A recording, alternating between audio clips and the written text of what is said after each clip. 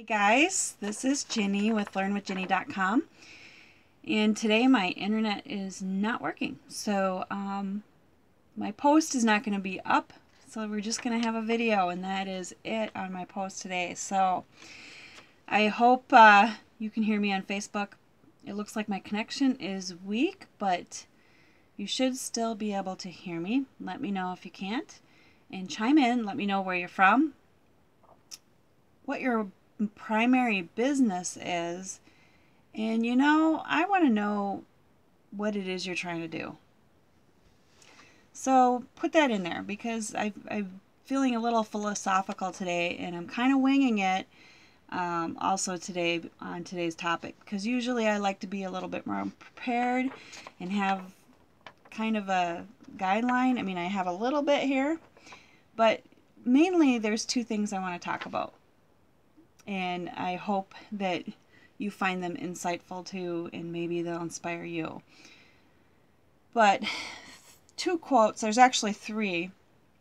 And the first one is from Earl Nightingale. I, I read that he is basically the dean of personal development. Um, so we definitely want to check him out and read some of his stuff. But here's a quote from him If you want to succeed, just look around at what everyone else is doing and do the exact opposite. And the reason why it kind of inspired me is because, you know, we're in this network marketing niche or, niche or MLM, and everybody's chasing people around and posting stuff all over social media. They're following gurus and setting up big funnels and all this crap and I'm not going to say crap. I shouldn't say that because, you know, some of them are really, really interesting. And, you know, if you're a funnel person, then go for it because that's really cool stuff. Me, it's a little too complicated. And I'm like, yeah, can't I just talk to the person and, you know, tell them what our products can do for them or what I can teach them or what they can learn from me? You know, can I just talk to you? Like I'm doing now. So it's just it's interesting anyway. So all these people are chasing people around and you know, why not do just the opposite and attract people to you that want what you have, that already know that they want the results that your products can give them. Um, I the other quote that I wanted to talk about is actually I don't even know where I heard it. I heard it at um, an event, I believe, and I think it might have been Ray Higdon that said it, but I'm not sure because I did not write it down. It just kind of sat in the back of my head, you know, and I kind of remembered it. But if you're afraid to do it, then you must. And every time I in the, in my life anyway, and I don't know about yours, but when I've jumped into something that I was afraid to do or took a step forward doing something I was afraid to do, like doing a Facebook live, it always paid paid out. It always paid out. Either I learned something, you know, or from my epic failure I learned something, right?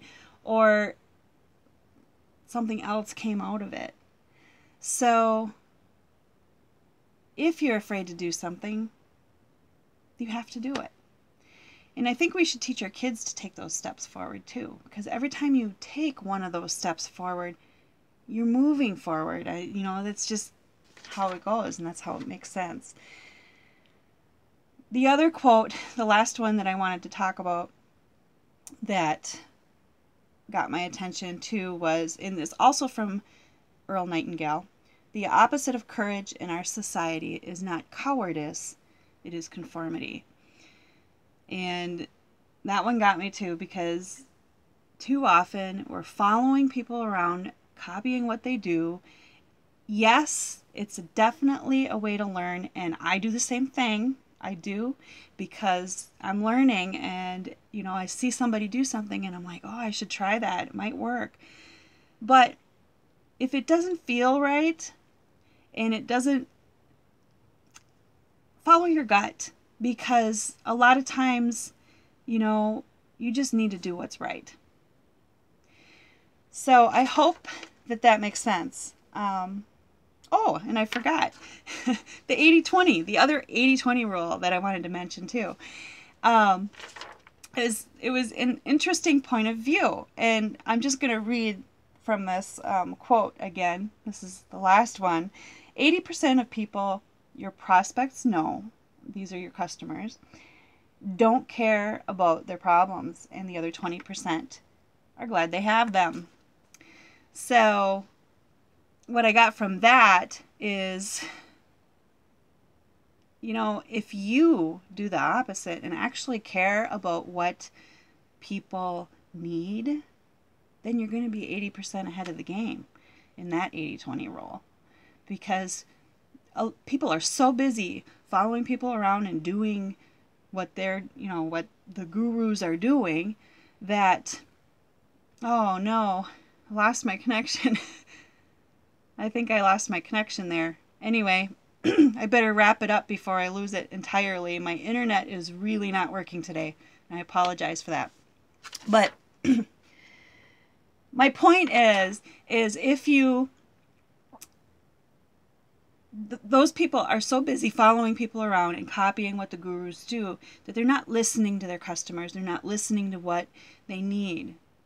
So if you listen, if you go out and study your market and, and ask your customers what they need what's their biggest struggle what what can you help them with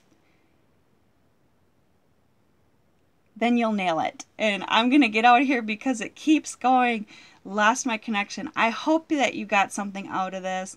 Make sure you comment. Tell me what your main business is and tell me i want to know where you're going with it. Give me a little clue, give me a little, and tell me what your biggest struggle is. I'd love, I, and I'll talk about it on Monday or on a future live or in a future post. I hope you have a great, this keeps going out. I hope you have a great day. See you. Holy crap. so yeah, that was my Facebook Live and it was not going so well. So here on Facebook, this video I will put up um, under that video, I think, just in case. So I'm going to tell you one more time to have a great day.